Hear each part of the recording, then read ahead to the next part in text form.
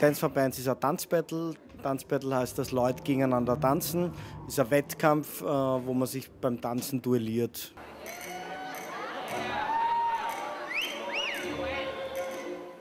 Bei uns geht es darum, dass jeder seine Hosen kriegt, die so ist, wie er es haben will. Und äh, um Individualität und einen Selbstausdruck. Und beim Tanzen geht es einfach auch darum, dass man seine Persönlichkeit nach außen tragt und sie ausdruckt. Ja. Das hast du dir sehr schön überlegt. Also wir haben heute in der Impulstanz äh, Workshop Area im Arsenal eine Audition gehabt, wie das in der Tänzersprache heißt, wo die Leute fortgetanzt haben und sich beworben haben für heute Abend. Die Jury war einsame Weltspitze. Ich habe das einmal gemacht und das war damals schon ganz schrecklich und es ist ähm, es war wieder ganz schrecklich. Also es war so, dass die Mausi Lugner abgesagt hat. Scheiße. Und dann haben wir den Violetta.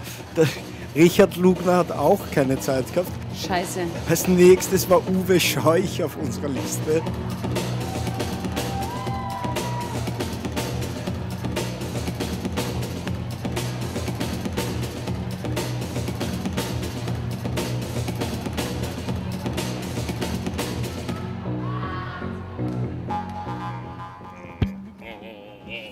Was der Sieger von uns kriegt?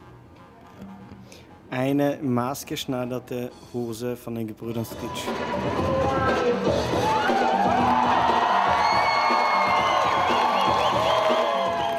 Nein, Männer und Frauen tanzen nicht anders, glaube ich. Es ist, es ist, glaube ich, mehr eine Frage des erstens, was sie sozusagen, wo, wohin sie sich, wo sie sich zugehörig fühlen und andererseits,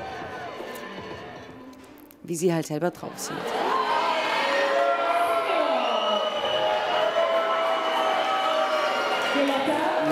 Wenn ich jetzt alleine die Gewinnerinnen ausgewählt hätte, dann wären das nochmal drei andere dazu gewesen sozusagen. Aber die, die gewonnen hat, war wirklich großartig.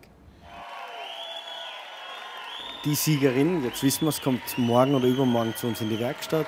Wir suchen einen Stoff aus, eine Waschung aus, Garnfarbe aus, einen Schnitt aus und machen ein hübsches Höschen für den äh, Tänzer allerwertesten.